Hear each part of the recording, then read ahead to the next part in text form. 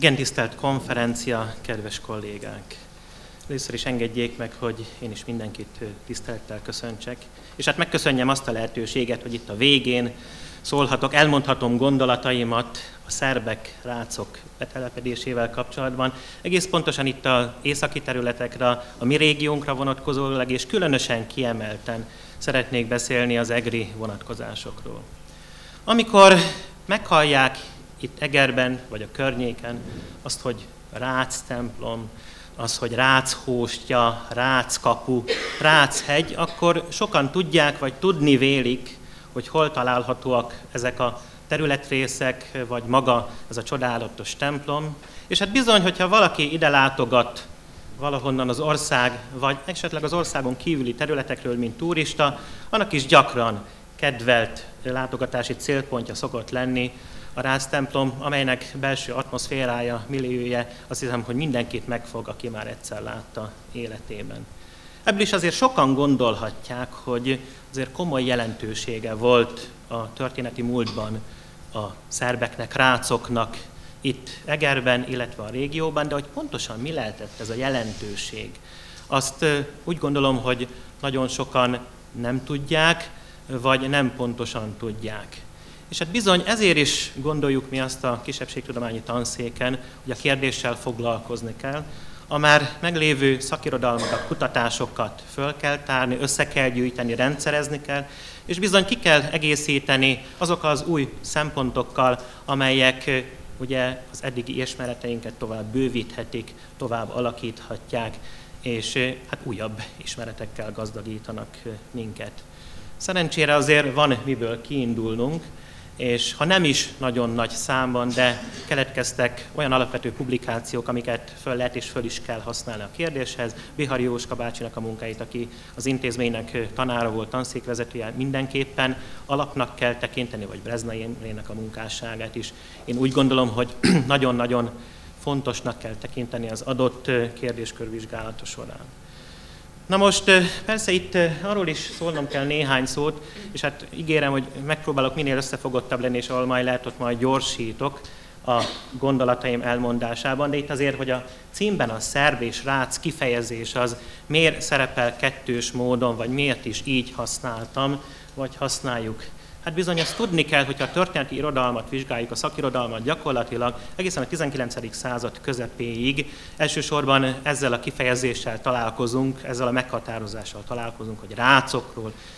beszélnek, egészen Anonymusnak a gesztáját nézzük, vagy itt már említette ugye Nemes tanár úr is, ugye Bél Mátyást, ő is bizony ugye rácokról beszél, vagy rácok betelepedéséről, és számos-számos, ugye Szederkényit is említhetnék, és számos-számos irodalomban ezzel a meghatározással találkozunk, és bizony a képet még az is árnyalja, hogy a középkori Magyarországon ezt összefoglaló módon használják ezt a kifejezést, mégpedig ugye azokra a csoportokra, akik a Balkán irányából ide beköltöznek az országba, és hát ugye többnyire a görög keleti egyház hitét követik, ez alapján ugye görögökre, makedónokra és természetesen szerbekre is használják ezt a kifejezést. Maga különben az eredeztetése a rác szónak az a raszkai vagy hát a raszkai zsupából származható, talán az egyik ilyen legelfogadottabb. Ez például Kállai tanár is ugye a jövőjényektől az államalkotó tényezők című munkáiknak a történeti részében ugye ezt emelik ki, és hát általában ugye így is ezen módon használjuk. Aztán a 19. század második felétől már az irodalomban inkább ugye a szerb ugye megnevezést szokták volt használni, és ilyen módon találkozhatunk vele, amikor kutatásokat végzünk. Nos, de mégis a kapcsolatban hova vezethetők vissza? Én azt hiszem, hogy az itteni folyamatokat akkor tudjuk igazán megérteni, hogyha egy nagyobb történeti kontextusba vizsgáljuk a kérdést, és azért visszanyúlunk régi időkre. No, itt szeretnék majd, amilyen módon csak lehet igen gyorsítani, és hát hogy hogyan, hogyan, vizsgálhatjuk meg, és hova vezethetők vissza szerb-magyar kapcsolatok kezdetei. Gyakorlatilag, amikor a szerbek régmúlt történetét vizsgáljuk, akkor nem egyszerű eligazodnunk. Elég sok olyan kérdés van, amit sokféleképpen magyaráznak, de ami a magyarokra vonatkozik, az mindenféleképpen az, hogy a honfoglalás időszakában már kapcsolatba kerültek velünk, sőt, mint több egy Tim József nevezetű kutató azt mondja, hogy Hát bizony, amikor ugye Dél-Magyarországon délszávokat, illetve bolgár szávokról szoktak beszélni, akkor szinte biztos, hogy már szerbek is ugye élhettek és lakadtak ebben az időszakban ezen a területen. Bizony mégis a szerb név itt ebben az esetben hogy azt a törzset jelöli, aki nem máshol, mint a 9-10. század időszakában a felső Dina, Tara, Ibar és hát a Morava folyók vidékén élt. Hát itt egy térképet, egy picit későbbi térkép, amit be tudtam ide szerezni, de hát itt van a Drina, itt ugye a Morava, és tulajdonképpen ezt a területet jelentette, amiről itt beszélhetünk. Na most, hogyha tovább menjünk, akkor az Árpádházi királyok időszakában itt Abba Sámuel kapcsán már szokták emlegetni azt, hogy ugye a Ménfői csatában már harcolnak mellette szerbek, aztán emlegetnek a krónikások egy urosz nevezetű nemest is, aki a Pozsony melletti küzdelmekben jeleskedett vitézségével. Gyakorlatilag ugye ez azt jelentette, és azt jelentette, hogy akkoriban nem nagy számban, hanem inkább úgy egyénekről vagy kisebb csoportokról lehetett szó. És hát, hogyha tovább menjünk, akkor a kapcsolatok egyre szorosabbra fűzése, ugye inkább második István király időszakára tehető, amikor is tulajdonképpen azt láthatjuk, hogy a Bizánc melletti csatározásokban igen aktívan részt vesznek vele együtt a szerbek, és hát bizony itt ugye a kapcsolatokban, ami nagyon-nagyon fontos volt abban az időszakban is, hogy a házassági kapcsolatok tovább erősítik ugye ezt a szoros együtt létet gyakorlatilag. Ugye István a szerb nagyzsupántól, ugye első urosztól kéri meg lányát Ilonát, és tulajdonképpen nem másnak, mint az unokölcsinek a későbbi, ugye második vagy Vakbéla számára kérte feleségül. Aztán, hogyha itt ugye tovább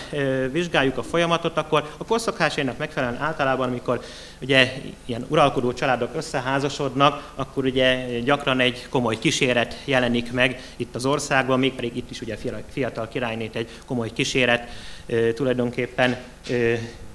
hozza be itt ugye az országba, és hát itt több szernemessel is találkozhatunk ebben a kíséretben. Különösen is érdemes Belos vagy Belus hercegnek a nevét megemlíteni, aki nem más volt, mint a királynénak a bátyja, és hát nem csak vidészségével jeleskedett ő abban az időszakban, állítólag különösen is ugye jól értett a harci fortélyokhoz, hanem tudni kell azt, hogy ugye Gézának a kiskorúságának az időszakában, ugye Nádori és Báni tisztségénél fogva ő az országot is irányította egy rövid ideig.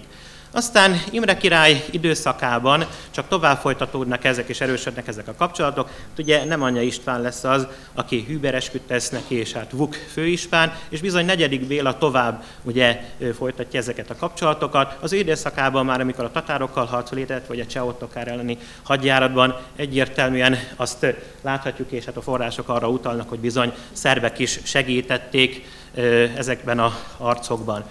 És a házassági kapcsolatok ezután sem maradnak el, vagy ebben az időszakban sem, mert hát például Bélának az unokáját, ugye Katalint, nem más, mint első orosznak a fia veszi el Dragutin, itt van ugye Katalin és itt Dragutint is sikerült megtalálnom, és erre az időszakra gyakorlatilag azt lehet mondani, hogy már azért elég szép számban jelennek meg, vagy már jelentősebb számban jelennek meg az ország déli részén szerbek. Ez a viszony változik, ez eléggé pozitívnak tűnik eddig, a 14. századig. Gyakorlatilag nem másnak köszönhető, mint második István szerb uralkodónak, ugyanis hát ő macsói bánságot ugye magához csatolja, ez nem volt valami pozitív lépése, és bizony Károly Róbert lesz az, aki erre azonnal meg is teszi a válaszlépéseket, és hát bizony hadjáratot vezetett ezen terület irányába, és tulajdonképpen ez a háborús kodás és ez a nem túlzottan pozitív viszony lesz jellemző az elkövetkezendő évtizedekben, évtizedekben igazán ugye még Nagy Lajos is számos hadjáratot, hát legalább hármat, ha jól emlékszem, vezetett ugye ide, erre a területre, és hát nyilván próbálják a korábbi viszonyrendszert visszaállítani, már legalábbis terület szempontjából. Aztán a belső helyzetese egyszerű ekkoriban már a szerb királyságnak, 5. Istvánnak az uralkodása gyakorlatilag egy bomlás folyamata indul el. Hát itt az ozmán birodalomnak a terjeszkedése egyértelműen ugye ezt a folyamatot meghatározza, és hát bizony komoly vereségeket szenvednek a szerbek itt a 1371-es ugye Marica folyó melletti vereség. Aztán az első Rigó mezei ütközet, ami egy olyan súlyos ütközet volt, ez gyakran szokták a Mohácsi, a mi Mohácsi csatánkkal együtt emlegetni, ugye a szerbek esetében kvázi paralelként, hogy hát bizony maga az uralkodó is elesik, és hát egészen ugye az az egység, Szerbiának az egysége nagyon sokáig nem állt helyre. Aztán ugye tulajdonképpen a nagyarányú beköltözések ezután indulnak el az országba, a Rigó mezei ütközet ilyen szempontból ugye ezt a folyamatot tulajdonképpen indukálta, és hát Szabó István úgy ír a 15. század időszakára, hogy ugye az országban megtelepedő szerbek azok már nagyobb számban jelennek meg, például itt ugye a Borosjenői uradalmat, vagy a Debrecen területét is kiemeltve, vagy a délvidéknek a különböző pontjait. És hát az egyiken nagyon fontos is, igen korai vagy legkorábbi szerb telep, ez Kövin vára volt, későbbi ugye Kevevár vagy Temeskubin, ami ugye Luxemburgi Zsigmondtól még egy kiváltságlevet is kapott. Aztán Brankovics időszakát tekintve már a szerbek része ugye hűbéres a Zsigmondnak, Zsigmond pedig zászlós úrát tett, ami azt jelentett, hogy komoly birtokadományok ugye kerülnek így Brankovicsnak a kezére. Hát ugye Budán is kapott számos házat, meg hát ami, ami fontos még, hogy például Tokaj, Szolnok, Debrecen és Világosvárot is kap jelentős területeket, ami meg aztán magával vonza, hogy ugye erre a területekre az ő birtokai gyakorlatilag szerbek telepednek be nagy számban, és hát bizony a folyamatot még csak tovább fokozza legalábbis a betelepedést, amikor a Galambóc és a Branyicsevói várak elesnek, ugye 1428-ban, és bizony ekkor megint egy hullám van, ugye szerb családok érkeznek, érkeznek, például Szentendrére is, ugye ezután érkeznek be nagyobb számmal. Mátyás időszak olyan szempontból érdekes, hogy és talán ez még úgy jobban köztudott, hogy a hírhet fekete seregében ugye számos szerb katona harcolt, sőt, hát ugye ezt szokták emlegetni, hogy igen jól képzettek voltak, igen felkészültek, és hát a csatákban mindig is élen jártak, és hát ugye az ő időszakában nem csak, hogy itt a katonaságában, hanem bizony szintén a további terjeszkedése miatt a töröknek újabb hullámok érkeznek, ugye már szerb hullámok érkeznek gyakorlatilag 1459 és 83 között az országba, majd aztán a 16. század időszakában ez tovább folytatódik, legalábbis Tim József ugye ezeket állapítja meg. Na most ebben a időszakban gyakorlatilag már nagyon sok olyan fűri család is beérkezik, ami aztán a későbbiek során meghatározó lesz történelmünk szempontjából is, a Lazarevicsek, Brankovicsok, Jaksics családok például, és bizonyos rendszeresen és folyamatosan harcolnak velünk együtt a török ellen ebben az időszakban. Aztán hát itt a Mohácsi csatában az is úgy talán még az ismertebbek közé tartozik, hogy mellettünk harcolnak, és hát mellettünk küzdenek itt jó néhány éven keresztül, de aztán hát az érdekek azok ugye németek vagy Habsburgok oldalára állítják őket, Ferdinand mellé. Állnak, hát itt ugye a privilégiumok azok meghatározóak voltak, például mondjuk itt a kapitányoknak a, a 20 évi adómentessége, de hát természetesen azokból a zsákmányokból, amit ugye a csatározások közepette ugye megszerezhettek, azt gyakorlatilag meg is tarthatták, és hát egészen a török uralom végnapjaig gyakorlatilag a Habsburgok mellett harcolnak, hát nyilván szerették volna megtartani, és meg is tartották gyakorlatilag a privilégiumaikat, ami egy jelentős fordulatot jelentett, és itt a beköltözéseket, és ugye erre már Nemes tanár úr is utalt, hogy majd én erről fogok beszélni, ez a Belgrád elestét jelentő folyamatos, hát tulajdonképpen ez a csúcspontja volt, ugye, amikor 1609-ben Belgrád is eresett. Ez ugye egy olyan folyamatot váltott ki, hogy bizony a török megtorlástól jelentősen tartva, Csernovics Arzén vezetésével, aki gyakorlatilag ugye papként, pátriárkaként nagy hatással volt környezetére, és ő volt az, aki bevezette Magyarországra mindazt a 36-37 ezer szerb családot, merekültként gyakorlatilag, akik aztán az ország jelentős területein telepednek meg. Hát, hogy hol, ha nagyobb területi egységeket nézzük, akkor a Szerémség, Bácska, Tisza, Maros, mellett, és bizony az ország különböző városaiban, hát itt nem sorolom föl mindegyiket, de látható, hogy Arattól Szegedig, Budától, és ami számunkra nagyon fontos, Egerig, így gyakorlatilag eljutottunk közvetlenül már a mi városunkhoz, a mi vidékünkhöz. Tulajdonképpen, amikor ez a folyamat ugye picikét nyugvópontra kerül, akkor ugye 1691-ben Lipót itt a korábbi kiváltságokat, privilégiumokat megerősítette, és bizony politikai nemzetként ismerte el őket. Ez nagyon-nagyon fontos lépés volt. Gyakorlatilag azt lehet mondani, hogy a nemzet tudat kialakulása szempontjából, későbbi megerősödése szempontjából igen lényeges lépésnek mondható. És hát a kiváltságaik továbbra is megmaradtak, mégpedig első József harmadik Károly által beszélhetünk ezekről, tehát ők ugye többször megerősítették ezeket az említett kiváltságokat, ami csak tovább ugye növelte a beköltözéseknek a számát az ország különböző városaiba. És hát bizony, ugye láthatjuk majd mindjárt néhány adatot is mutatok, hogy Egerben is ugye mit jelentett ez a jelentősebb lélekszám. Hogyan is kerülnek tehát akkor konkrétabban Heves megye szívébe? Gyakorlatilag, amikor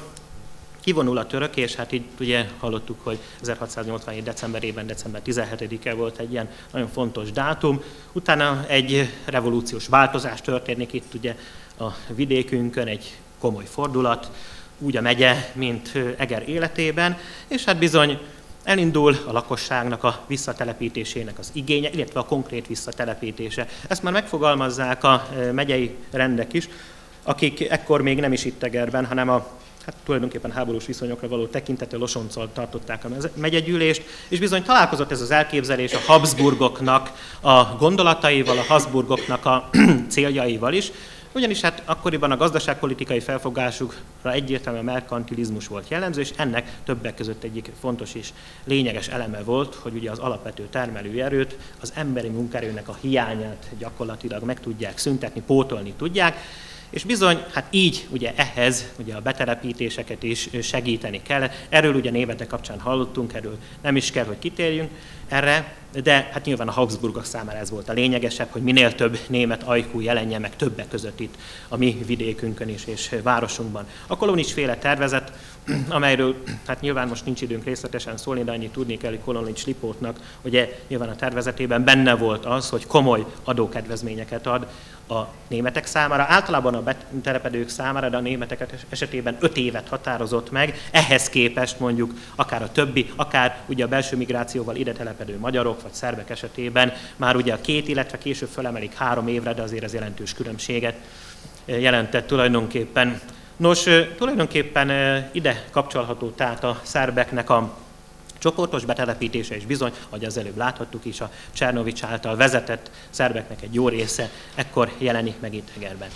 Persze azt se hagyjuk ki, és erre Nagy Jóska bácsi, nekem is kitűnő professzorom intézményünknek, ugye történtanszékének a volt vezetője, fölhívta a figyelmet Eger történetéről szóló munkájában, és hát itt hivatkozik ugye Cselebire, Evria Cselebire, aki azt mondja, azt írja, hogy tulajdonképpen délszáv lakosok már a 1630-as évek végén is letelepettek a városba, tehát erre vannak utaló nyomok, sőt, mi több, hát itt ugye összefoglalóan, hogy a rác kifejezést használják rájuk, hát ők akkoriban főleg ilyen martalóc csapatokként, segélycsapatokként harcoltak a török mellett, és bizony Bihari Jóska bácsi pedig arra is rámutatott, hogy itt a 17. században már egyházközségük is működhetett erre, ugye okleveles adatok is még voltak találhatók korábban a levéltárban, most már az én tudomásom szerint sajnos ezek nincsenek meg. 1690-re gyakorlatilag Arról szólnak a források, hogy mintegy 40 rác család van itt Egerben, vagy költözött be Egerbe, és nagy valószínűséggel ők már néhány évvel korábban is itt lehettek, és erre vannak is utaló nyomok és adatok, ugyanis 1688-ból való egy olyan feljegyzés, amely ugye arra vonatkozik, hogy itt ugye az elhagyott házakat, azokat kincstári tulajdonba veszik, és hát gyakorlatilag ugye később aztán elkezdik ezt a 90-es években, tehát a 80-as évek végén, illetve a 90-es évek elején kiárusítani, és itt a házvásárlásokban itt pap Éliás görög papnak a nevét, illetve Nagy Istvánnak a nevét is említik, és egyben azt is megteszik, hogy görögök és rácok vásárolnak. Itt külön ugye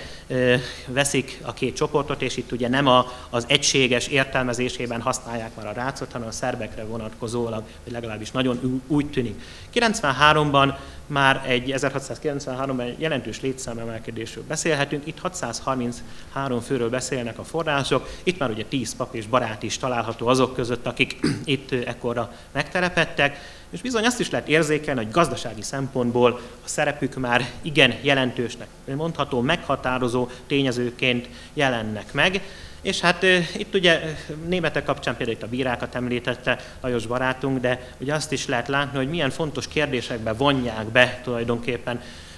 ezeket a kisebbségi közösségeket, az ide betelepedőket. Ugyanis hát itt, hogyha a fontos döntéseket nézzük, akkor rögtön ki kell emelnünk a Fenesi Egyezményt, amire szintén már utalást találtunk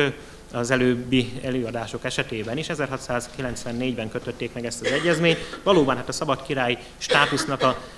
a szabadkirályi város státusznak a elvesztése után, ugye miután Fenesi püspöké lesz tulajdonképpen a város, egy egyességet köt a város lakóival, hát nyilván itt a magisztrátuson keresztül, és hát bizony ezekbe a tárgyalásokba bevonják többek között a németek mellett, ugye a rácokat is, itt Bajai Zsigmond meg Fekete Jánosnak a nevét kell megemlíteni, akik részt vettek ebbe a folyamatban. Na most, ami számunkra fontos, az az, hogy bizony ez a megállapodás, ez az egyezmény, hát ez nem túlzottan volt előnyös sem a szerbekre vagy rácokra más néven, de a görögökre sem, ugyanis ugye csak azok telepedhettek le a városba, akik ugye keresztények voltak, katolikusok voltak egész pontosan, vagyis ők csak úgy maradhattak itt, vagy úgy telepedhettek le a később ide költözők, hogyha uniáltak, tehát egyesültnek nyilvánították magukat, ugye görög katolikusokká válnak gyakorlatilag. De most nagyon sokan, legalábbis ugye a kutatások erre utalnak, hogy az egyezmény miatt ezután elköltöznek a városból, legalább annyi, mint amennyien korábban ide betelepettek. Az előbb is már utaltam arra, hogy a gazdasági potenciáljuk az igen jelentős volt. Bizony a kereskedelem terén azt gondolom, hogy igen maradandót alkottak, és igen jelentősek voltak itt a város és a régió szempontjából is. Tulajdonképpen itt 1699-et kell megemlítenünk a kalócai békekötést, ami rendkívüli előnyöket hozott a török alatvalók számára, már pedig a görögök, vagy arnót kereskedők, ahogy itt ugye a források emlegetik őket, ők török alatvalók voltak. Ez azt jelentette, hogy azokat az árukat, amelyeket ők behoztak, ugye csak 3% vámmal sújtották, úgymond, ez a sújtás, ez nagyon idézőjeles, mert ez nagyon minimális vámnak mondható, és pontosan emiatt ugye a már ment lévő szerbek, illetve a görögök között ugye kezdett egy komolyabb ellentét kibontakozni, mert hát nyilván ugye ez komoly gazdasági előnyöket jelentett a görögök számára, előbb említett 3%-os vám. És akkor a ráckereskedők 1713-ban tulajdonképpen egy panaszos beadványjal fordulnak a püspök felé, illetve a város vezetése felé, és itt a beadványban rögtön azt emelik ki, hogy hát bizony a idegen nemzetből álló Arnót kereskedőkkel szemben ugye eh, fel kell lépni, és hát bizony azt is elmondják, hogy ők már régebb óta itt vannak, bizonyítottak ugye a városban kereskedelmi gazdasági tevékenységük révén rendszeresen adóznak, és hát bizony nem nagyon örülnek annak, hogy ezt a folyamatot ugye megtöri tulajdonképpen ugye a görögöknek a gazdaságba való hát benyomulás, illetve a kereskedelmi tevékenységbe. Mit vállalnak ők cserébe? Hát ezen csak nagyon gyorsan futok végig. Tulajdonképpen azokat a boltokat, amiket hát ugye így a kiköltöztetés révén, ha az sikerült volna, vagy sikeres lett volna ez a beadványuk, hogy elhagynak a görögök, ők visszabélik, ugyanolyan összegben bélik vissza, de vállalják a katonai beszállásolás, mindenféle olyan anyagi terheket, amelyek ehhez kapcsolódnak, illetve hát még a török áruk behozatalát is, mégpedig olyan módon, hogy ugyanolyan árban árulják, mint bárhol máshol, például ugye a görögök, tehát hogy ezzel sem legyenek hátrányban az itteni lakosok. Na most hát itt várat egy kicsit a válasz, de aztán Telegesi elfogadta ezt, a, ezt az elképzelést, és hát részben de történnek lépések ugye arra vonatkozólag, hogy ugye a rácoknak is a helyzete stabilizálódjon, de közel távol sem mondhatjuk, hogy ez sikerül, ugyanis 1718-ban a Pozsareváci békével a helyzet hát úgymond tovább romlik, mert a pozsareváci béke is ugye megtartja ezt a 3%-os vámkedvezmény, és bizony, ugye a török alatvalók, tehát ugye így az itt kereskedő görögök is továbbra is ezeket a kedvezményeket élvezhetik. Újabb beadványok, aztán itt az eredmények azok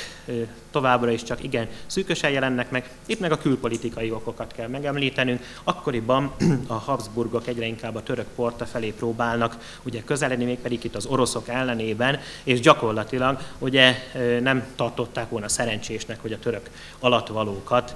hát különösebben bántsák, és hát ugye akadályozzák a gazdasági tevékenységet. Ezért is nagyon komoly tőke halmozódott fel a görögök kezén ebben az időszakban, ami gyakorlatilag, ami gyakorlatilag azt jelentette, hogy bizony a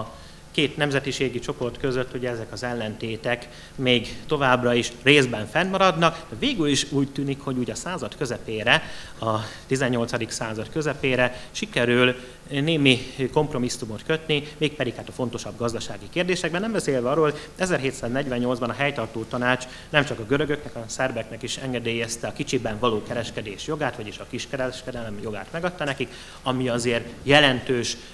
gazdasági lehetőségeket biztosított mindkét csoport számára. Miket forgalmaznak, mikkel foglalkoznak ebben az időszakban? Hát itt a kelméktől a különböző egzotikus fűszerekig, vagy az állatbőröket, illatszereket ugye hozták be és adták el, valamint ugye foglalkoznak ugye borkereskedelemmel is, eleinte külhomból hozzák be, de aztán később ebben az időszakban már egyre inkább az figyelhető meg, hogy bizony exportálnak is Lengyelországba egri bort, ismertebb borkereskedők közül talán itt Stajovics Mihályt vagy Topicki Györgyöt lehet, illetve Duzi Demetert megemlíteni ebből az időszakból. Hogy a gazdasági jelentőségük miben is volt még ezzel együtt, hát bizony a kompániák létrejöttében, ezek tulajdonképpen gazdasági kereskedelmi társaságok voltak, és bizony így közösen érvényesítették érdekeiket, és hát olyannyira sikeres volt ez a egri görögök és rácok esetében, hogy gyakorlatilag a kompániáik azok országos hírűek lettek, és hát bizony az első tízben benne voltak ebben az időszakban. Hát itt ugye Nikoládának, Sárpe Jánosnak, Báró Demeternek, vagy Rakó Kristófnak is a kompániáit mindenféleképpen érdemes megemlíteni. Igaz, hogy nagyon pontosan, hogy ebben mennyi volt a rác, mennyi volt a görög, az borzasztó nehéz eldönteni. Az, hogy Nikola Ádám ő görög volt, az szinte biztos, meg Rákó Kristóf is, és az, hogy például Albánszki, ő, ő pedig rác vagy szerb volt, ezt is ugye bizonyal lehet állítani, de itt ugye gyakran az összeházasodás, illetve az, hogy keresztbe vesznek föl neveket, görögök azok rácos nevet, a rácok görögös nevet, bizony nem egy könnyű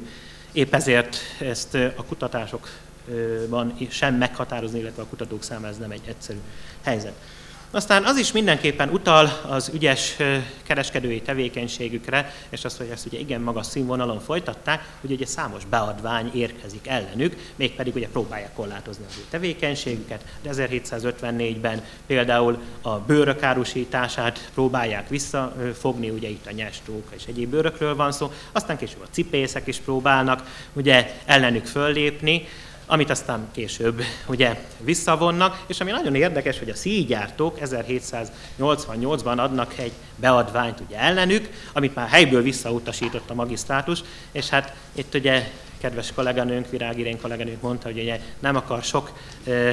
forrás részletet felolvasni, én se akarok sokat, de ez olyan nagyon érdekes, hogyha megengedik, ugye írják a következőt ebben a részletben, amit Breznai Imre idéz, hogy a szijártok közül némelyek az impostor nevet méltán megérdemelnék, viselnék mindazáltal magukat, és folytatnák mesterségeket jól és igazán. Így közönséges mesterségekből el fognak élni. Ugye tulajdonképpen ez azt jelenteni, hogy ha ugye valóban minőségi munkát végeznének itt, ugye az itt dolgozó cégmesterek, vagy kvázi hazai cégmesterek, akkor nem nagyon kéne arra szorítkozni, hogy esetleg külföldről behozott, így a rácok vagy görögök által behozott árukat ugye próbálják eladni, úgyhogy tulajdonképpen itt a minőségi munkára is ösztönöz akkor a magisztrátus, amikor ugye nem fogadja el ezt a beadványt. Aztán azt is láthatjuk, hogy számos esetben is már is tapasztaltuk, hogy közösen említik a görögeket és a rácokat, és hát igazán ez gyakorlatilag a surlódásoknak a, a ö, elmaradását is jelenti itt a 18. század végére, második felére, és nagyon sok olyan üzlet van, amelyet ugye közösen valósítanak meg, már nem csak a kompániák révén, hanem ugye általában itt a régióban, hát ilyen például 1775-76-ban a közös bányatársulat létrehozása, ami aztán egy bő tíz évre rá gyakorlatilag megszervezte a Dédes Tapolcsányi Vasgyárat a Paládi Timsó bányával közös ugye, üzleti vállalkozásba. Hát itt azt hiszem, hogy időm már kevés van, de egy pár percen belül szeretném is ezt így befejezni. Tehát Totovics Antalnak a nevét kell kiemelni, aki ugye jelentős részvényszámmal rendelkezett, több mint 40%-át birtokolta meg Csetiri Györgyöt, akik aztán egyéb közös vállalkozásokban is egészen 1821-ig igen sikeres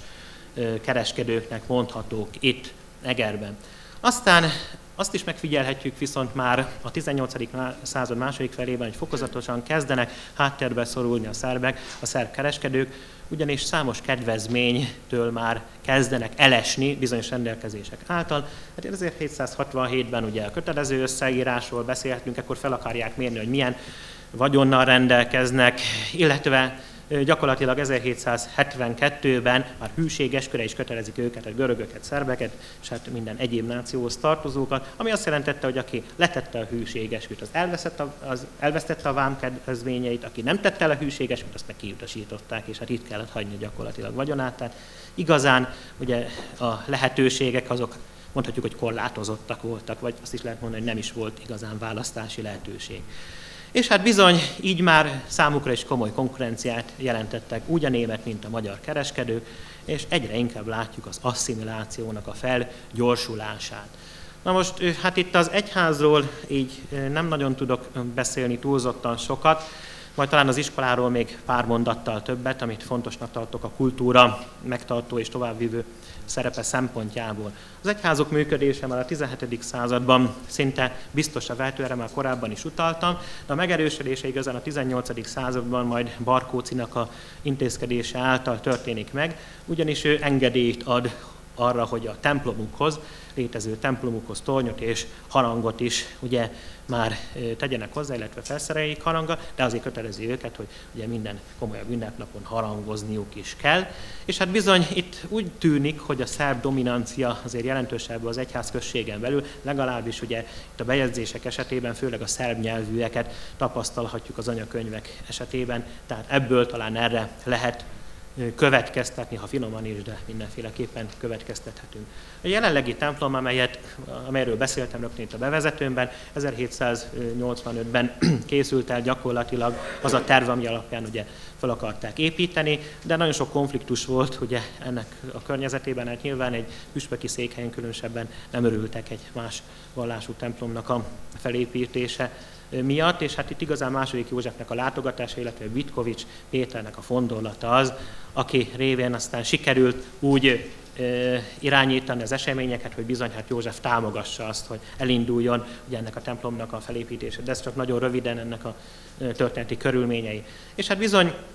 itt azért úgy a görögök, mint a szerbek úgy durván fele-fele arányban benne voltak az alapítók között, és hát nagyon komoly pénzösszegeket nyújtottak a templom felépítéséhez. 92-ben kész lesz a templom, 1804-ben szentelik föl, mert itt is voltak olyan ellentétek gyakorlatilag, amik főleg ugye a liturgiának a nyelvére vonatkoztak, a szertartás rendjére, aztán később ugye hát 1804-re sikerül megegyezni, és akkor hát maga a pap az gyakorlatilag ugye görög volt, és a Kárpán volt ugye szerb nyelvű, és hát felváltva folytak a, a misék az Isten tiszteletnek. Az iskola működése is itt a 18. század közepén bizonyított, hát itt is több bizonyíték van erre, de az egyik érdekes dolog az, hogy ugye a szerviták akarják a pincéjüket bővíteni, a rác hitközség ugye ellenében, iskolájának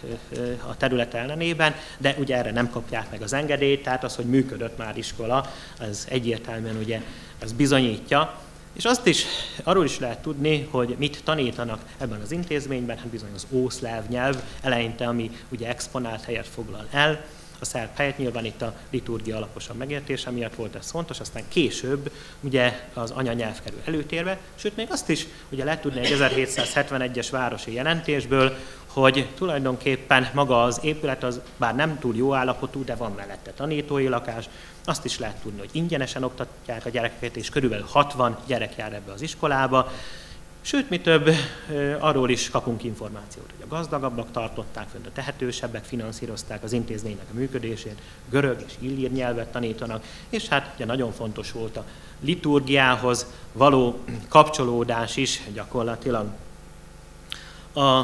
már a liturgia énekeihez való kapcsolódás is ezt is tanították. Aztán az iskola oktatójára vonatkozólag is vannak információk, hogy felkészült szakemberről van szó, nagyon elégedett vele a közösség, sőt, mi több, az is egy érdekes dolog, hogy egyéb feladatokra, mint ugye a tanítás nem nagyon kötelezték, ami mondjuk a katolikus intézmények esetében ugye nem így jelent meg, mert ott például a kántorkodás az egy nagyon fontos feladata volt, és ugye egyéb adminisztrációs tevékenységek. Tehát ez is ilyen szempontból eltérő és igen komoly érdekesség. Aztán a jövedelmi viszonyokról hát nem nagyon akarok ilyen utilitáriánus eszméket előhozni, de azért érdekes azt látni, hogy 140 rajnai forintban volt meghatározva az akkori ugye, éves fizetése, a tanítónak, és hát hogyha Szederkényének itt az adatait veszük alapul 1762 és 1815 között, a különböző hivatali beosztások esetében, hát itt a főispánál látjuk, hogy 1500 forint az éves fizetés, alispánál 606, ugye rajnai forint, a jegyzőnél 302, vagy például a szolgabíró, ugye 209, ehhez képest az esküdtek 80 forintot kaptak. Tehát, hogyha nézzük ezeket az összegeket, akkor inkább úgy a közép kategóriába volt ez a jövedelem, és hogyha még a lakást is hozzá nézzük, és ugye egyéb ugye, plusz kis biztosított lehetőségeket, számára mondjuk a tüzelőnek a biztosítását, akkor ez egy elfogadhatónak tekinthető a kor viszonyai közepette. Nagyon jó a viszonyuk a görög iskolával, és itt akkor két mondatot Vitkovics Mihálynak a példájára ismert költőről van szó, ugye egri származású, aki például, amikor fölkerül öccsével Pestre, akkor gyakorlatilag jobban beszél például görögül, mint szerbül, ugyanis ugye megvolt a lehetőség, hogy kölcsönösen látogassák az iskolát, egymás kultúráját ugye kölcsönösen megismerjék, és tulajdonképpen végere is értem,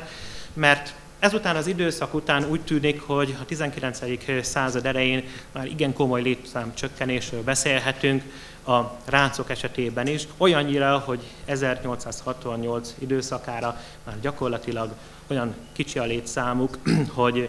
még iskolát sem volt érdemes föntartani, iskolát sem tudtak föntartani. Összegzésül láthatjuk, vagy remélem, hogy látható volt, hogy a gazdaság és a kultúra területén itt főleg ugye a 17., 18., de még a 19. század időszakában is nagyon komoly és jelentős alkotást hoztak létre, és bizony nagyon jelentősen hozzájárultak Eger kultúrájának a alakulásához, fejlődéséhez, gazdaságának gyarapodásához mindenféleképpen, és bizony napjainkban is még őrzi jelenlétüket, ugye mind azon területeknek az elnevezése, amit ugye az egriek, de Egeren kívüliek is talán jól ismernek, a Rác póstja, például, vagy ugye a Ráckapu tér, a Ráchegy, és hát itt ugye Virkovics utcának a végén található a Rác templom, ami azt hiszem, hogy egy olyan csodálatos műemlék, amire méltán büszkék lehetünk mi is itt. De hogy mégis miért beszélünk ezekről a kérdésekről, talán Vörös Martinak a szavait idézhetem, hogy a múltat tiszteld a jelenben, startsd a jövőnek, ahogy ezt írja az emléksorokban. Köszönöm a megtisztelő figyelmet, elnézést, hogy egy picit tovább tartottak gondolataim.